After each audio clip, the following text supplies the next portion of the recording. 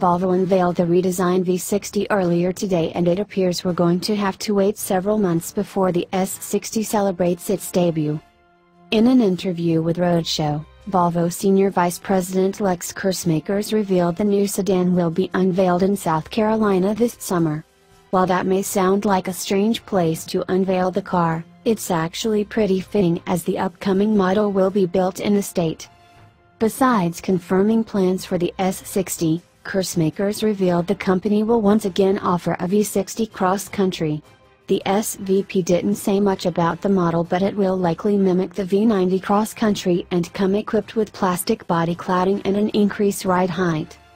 Both the S60 and V60 cross country will ride on the scalable product architecture and share engines with the new V60.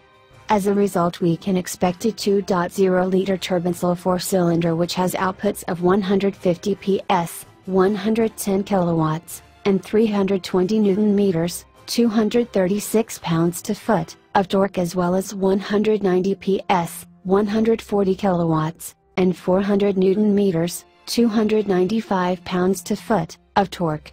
On the petrol side, there will be an entry-level T5 as well as a 2.0-liter T6 producing 310 PS, 228 kilowatts, and 400 newton meters, 295 pounds to foot, of torque.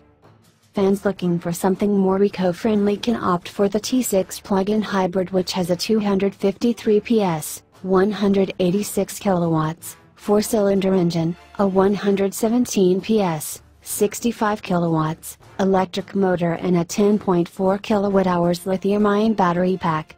This setup enables the V60 to produce a combined output of 340 PS, 251 kilowatts, and 590 newton meters, 435 pounds to foot, of torque.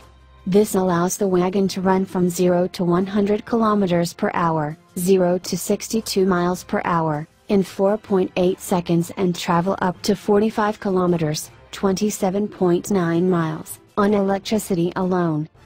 The T8 plug-in hybrid is largely identical but it features an upgraded engine that produces 303 PS, 223 kilowatts, and 400 newton meters, 295 pounds to foot, of torque.